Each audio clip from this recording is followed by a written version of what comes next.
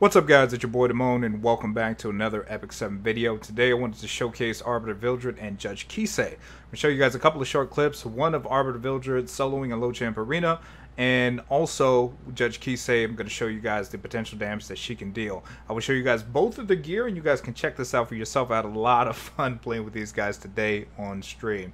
Before we get into that, let's check out Arbiter Vildred's stats so you guys can see what he's working with right now. I moved my Sez's gear over to Arbiter Vildred, so make sure you guys pay attention to this. So he's at 89 crit, 268% crit damage, with 4,358 attack. In terms of skill up, his skill 3 is maxed, been maxed for a little while, and this is what he can do with that. Alright, here we go.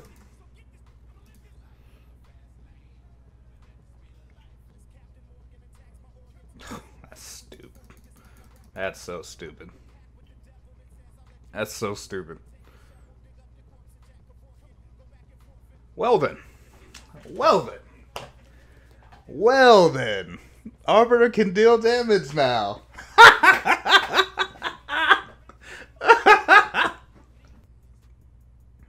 and you want him to die. You're like, oh, kill me, please. Thank you. Give me a turn. We'll take it. You know, and, and like, we're not even burning here. Like, we're not even using a burn. No souls.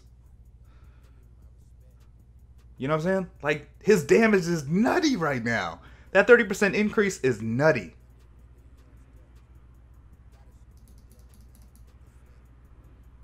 Let's go.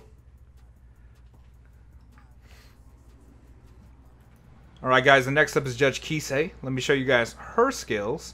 She's her second skill is maxed as of right now. This is this happened post this clip that you guys saw. As I got to max her third, and her skill one is also maxed as well.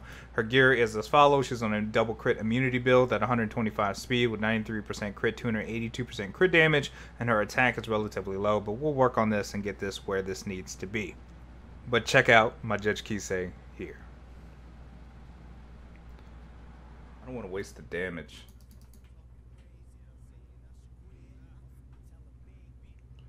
Alright, let me do Roozid. Boop, boop. Slow Kise. Alright, Aux Lots into Judge. Alright, Judge. See what you can do. Skill 2 burn.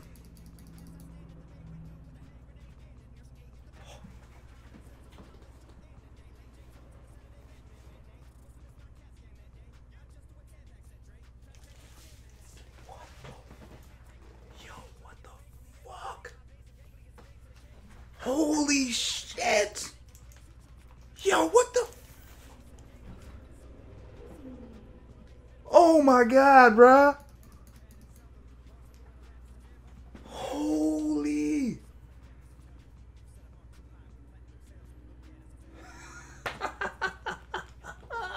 bruh, Judge, skill 2 is nuts!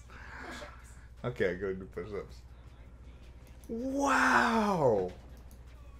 Wow.